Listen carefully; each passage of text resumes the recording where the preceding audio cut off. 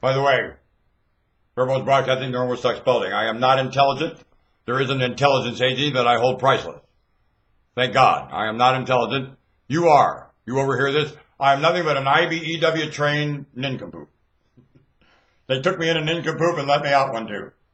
Only I have been trained to contribute and stay ahead. And when the print doesn't challenge what has to get done, and when the job is not challenging what has to get done, for Christ's sake, say something. Don't let them build the damn job when you knew better the whole time. And later on, you go in to tell the shop, well, I knew this. What? You know that cost me? You knew? What? Did you say anything? Well, they wouldn't have listened to you. How do you know? Damn boy, I'd have had you break down on the deck and not let the job go on and that. I got to tear the whole thing apart. And you knew? What? You know what I mean? When you know better, you're not allowed to be quiet. Especially when you know everyone else knows better too, and they, they have the genuine sincere if they only understood. That's the way they do it. That's what makes this place great.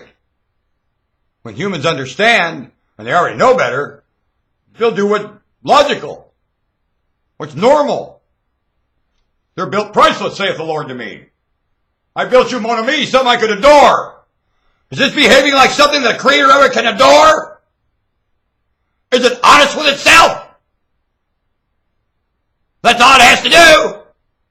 Everything else falls into place. Priority comes with honesty with yourself. A confession. You must do it. Planet. Humanity. Living. Do it. Each of you.